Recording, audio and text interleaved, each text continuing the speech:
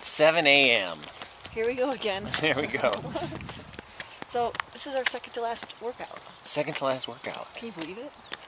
Oh gosh, are we going to be working out with Coach Ian soon? I hope so. But first we have to go fartlekking. All right, let's go. Okay, bye.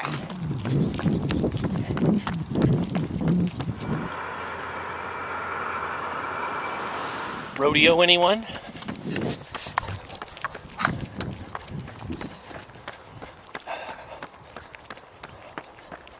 We're done with that part. Did you like that? I'm just glad it's over. I kind of liked it.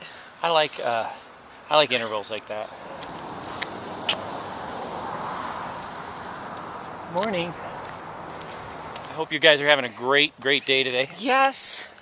One more workout. Yeah, check out the links below because we want to get you uh, in tune with the race. We're going to put TransRockies down below. Oh, so you guys will be able to follow us uh, not only on that site, but right here at the runningmartins.com.